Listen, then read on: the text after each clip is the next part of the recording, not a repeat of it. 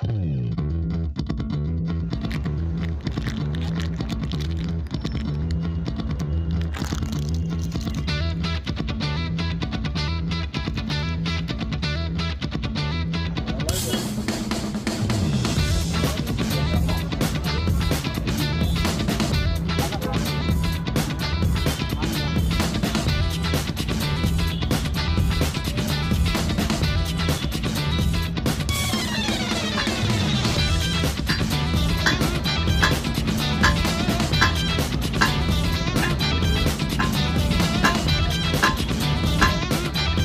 ये भैया मैंने डाल दिया है